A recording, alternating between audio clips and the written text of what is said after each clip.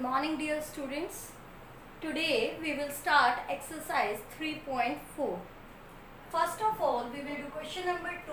In it it is given that the perimeter of a square is 16 centimeter and you need to find the length of its diagonal. Diagonal is AC. Perimeter is perimeter is 16 centimeter you know that the perimeter of a square is 4 into side 4 into side is equal to 16 side will be equal to 16 by 4 that is 4 centimeter. This is 4 centimeter.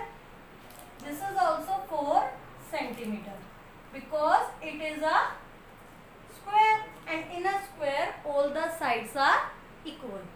Now you need to find its diagonal. You know that each angle of square is 90 degree. And in a right angle triangle, you can apply Pythagoras theorem. So by Pythagoras theorem,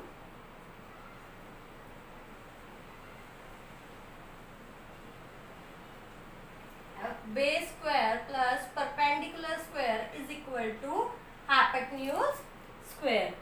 What is base over here? 4 centimeter and what is perpendicular? That is also 4 centimeter. And this diagonal is hypotenuse. Hypotenuse is the longest side. So substitute the values.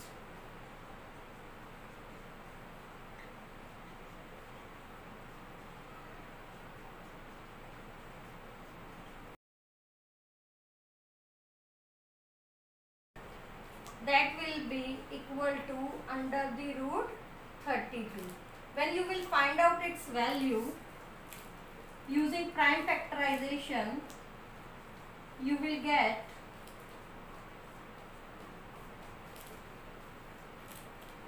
four root two.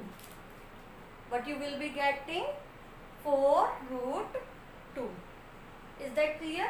This is the value of your diagonal. This is the value of your diagonal. And there is also a direct formula to find the value of diagonal. What is that? Diagonal of a square is equal to root 2 a where a is side of square side of.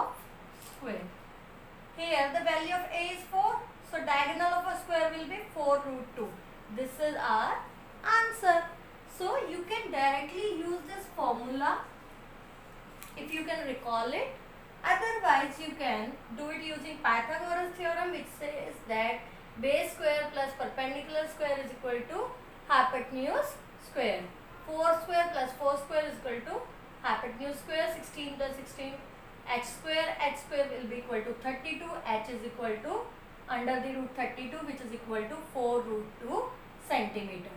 So AC is equal to 4 root 2 centimeter. This solves our problem.